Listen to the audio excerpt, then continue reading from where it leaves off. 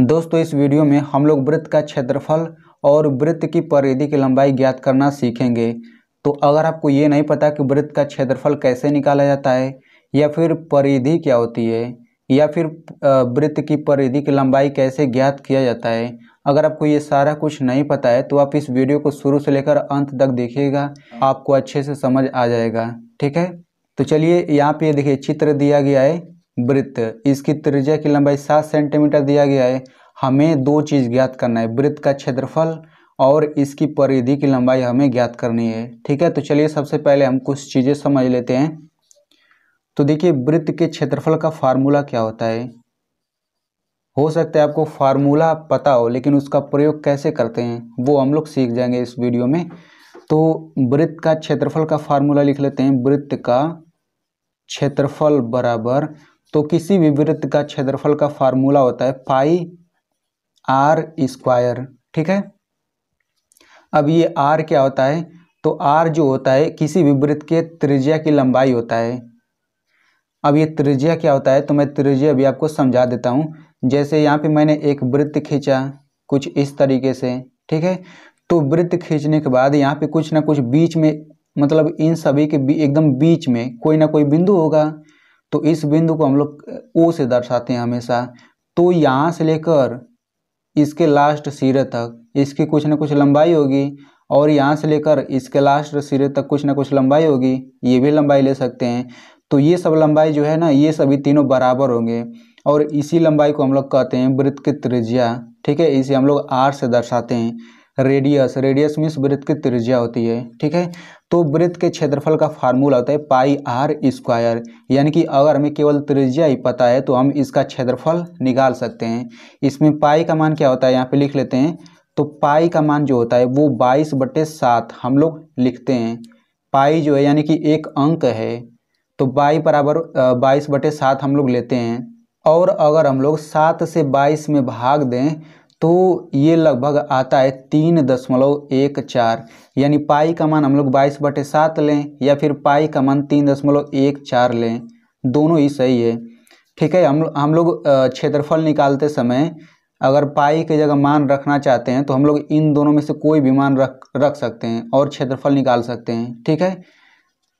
तो चूँकि वृत्त का क्षेत्रफल निकालना है तो चलिए हम लोग निकाल लेते हैं। तो इसको लिख लेते हैं वृत्त का क्षेत्रफल तो वृत्त का क्षेत्रफल पाई आर स्क्वायर होता है तो इनके और इनके बीच कोई चिन्ह नहीं है तो यहाँ पे मतलब एक गुड़ा तो यहाँ पे लिख लेते हैं बाईस बटा सात, फिर गुड़ा इसका हम लोग क्षेत्रफल निकाल रहे हैं। और इसमें त्रिज्या कितना है? आर बराबर इसमें सात सेंटीमीटर तो हम लोग यहाँ पर लिख लेते हैं कि सात का स्क्वायर सेंटीमीटर मत लिखिएगा, अभी आगे समझ में आ जाएगा। तो यहाँ से ये यह हो जाएगा बाईस बटा सात फिर गुड़ा। यहाँ पे देखिए सात का स्क्वायर यानी कि सात का हम दो बार गुड़ा करेंगे। देखिए यहाँ पे सात का स्क्वायर यानी कि सात पर दो घात है तो हम सात का दो बार गुड़ा करेंगे। अगर यहीं पे सात पर तीन घात रहता तो हम सात का तीन बार गुड़ा करते हैं। अब देखिए यहाँ पे एक सात से ऊपर वाला सात कट जाएगा। बाईस गुड़ा सात बचा, गुड़ा कर लीजिए। सात दूना चौदह और सात दूना चौदह, एक पंद्रह। ये आ गया एक सौ चौवन। अभी ये आंसर नहीं हुआ है, चूँकि क्षेत्रफल जो होता है वर्ग में होता है। तो यहाँ पे देखिए सेंटीमीटर आया है तो इसका क्षेत्रफल सेंटीमीटर का स्क्वायर में आएगा। अब जा करके ये वृत्त का क्षेत्रफल निकला है, ठीक है? अब हम लोग ये समझ लेते हैं कि वृत्त की परिधि क्या होती है, ठीक है? तो यहाँ पे देखिए, ये पूरा जो वृत्त बना है, ये पूरा वृत्त बन गया है, ठीक है? तो अगर हम लोग इस यहाँ पे हम लोग बना लेते हैं, मान लीजिए कि वृत्त कुछ इस तरह से बना हुआ है, ठीक है? तो आप लोग इस वृत्त को जो है एक रस्सी की कल्पना करिए। मान लीजिए ये एक रस्सी है। तो अगर हम लोग इस रस्सी को यहाँ से काट देते हैं और इसको जो है इस तरह से बड़ा कर लेते हैं, यानी कि सीधा कर लेते हैं, काट करके यहाँ से काट दिया हमने तो इसको हम लोग सीधा कर सकते हैं।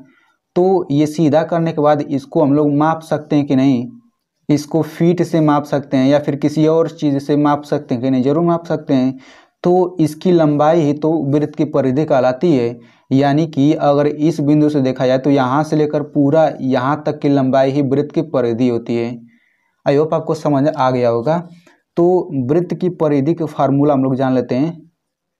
तो वृत्त की परिधि का फार्मूला होता है टू पाई आर। क्या होता है? टू पाई आर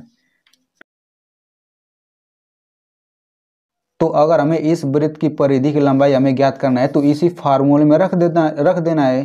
तो यहाँ पे देखिए टू पाई आर है मतलब इन, इनके बीच गुड़ा है, इनके बीच भी गुड़ा है, इनके बीच भी गुड़ा है। तो ये लिख लेते हैं, दो गुड़ा पाई का मान क्या हो जाएगा? बाईस बटा सात गुड़ा आर का मान क्या है?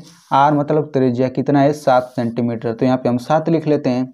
अब देखिए, नीचे वाले सात से ऊपर वाला सात कट कट गया। अब दो गुड़ा बाईस करेंगे, कितना आ जाएगा? ये आ जाएगा चौवालीस। चूँकि वृत्त की परिधि है तो वृत्त की परिधि चूँकि मापा जाता है ना लंबाई में तो अगर यहाँ पे सेंटीमीटर है तो ये भी सेंटीमीटर में आएगा। ठीक है? तो ये हो गया वृत्त की परिधि। अब मैं आपको एक क्वेश्चन देता हूँ, जिसको आपको हल करना है। ये तो हो गया वृत्त का क्षेत्रफल हमने निकाल लिया, और वृत्त की परिधि की लंबाई हमने निकाल लिया। अब मैं आपको एक सवाल देता हूँ, लगाइएगा उसको। उसका जवाब आपको कमेंट बॉक्स में ज़रूर देना है। तभी तो पता चल पाएगा कि आपको समझ आया है। तो यहाँ पे एक वृत्त है इसकी त्रिज्या की लंबाई जो है चौदह मीटर है, ठीक है? चौदह मीटर है तो आपको इसके परिधि की लंबाई आपको बताना है। क्या बताना है? परिधि की लंबाई इसकी बताना है। तो देखते हैं कितने लोग सही जवाब दे पाते हैं।